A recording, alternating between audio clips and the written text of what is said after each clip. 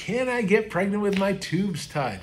You know what? Anything's possible. The question is if it's probable. So, first, you know, if the tubes were tied properly or cut or burned, the likelihood of a hole where a sperm and egg can get through there on its own pretty low, and a lot of times if it does, it's an ectopic.